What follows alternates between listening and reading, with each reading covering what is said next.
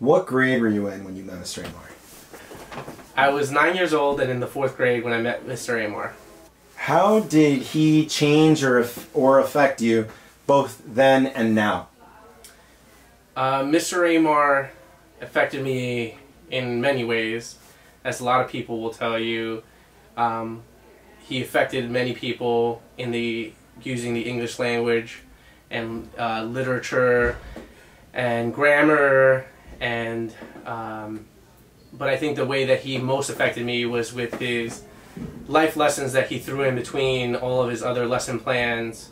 And he at a young age taught you to you know appreciate yourself to challenge yourself.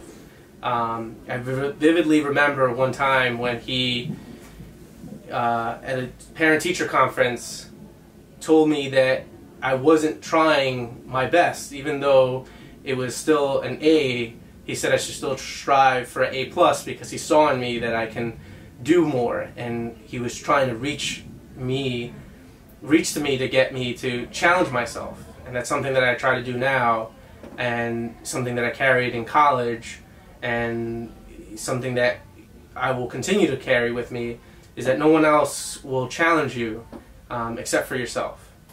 But that's a life lesson that back then I didn't truly understand but have learned to understand now do you remember a lesson that he taught you that still affects you to this day? A lesson that he taught me was to you don't ever stop learning. You're never you never just stop becoming a student. Um, you're a student of life, and it's something that you carry with you, and you you always need to learn new things and challenge yourself and be able to um, appreciate a challenge and learn from that challenge. And as you do do that, even if it's something that you don't you aren't as passionate about, you'll grow from it. Um, it just reminds me of something that he had brought up once, which was a, a, a, passage from Corinthians, which basically says, if you think that you know everything, you actually know nothing.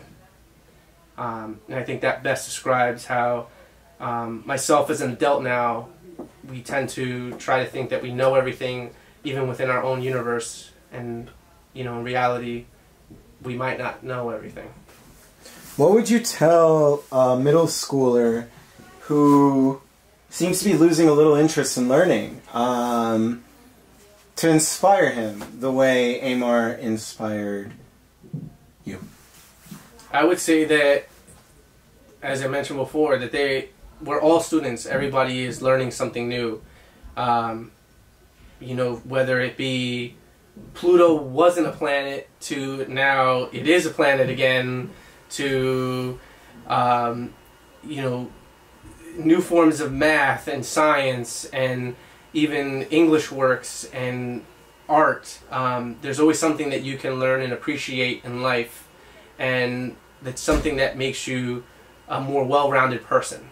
Um, and that I think is what Mr. Aymar's uh, goal was as a teacher was to make us as well-rounded as possible so that we can be better students and more importantly better people.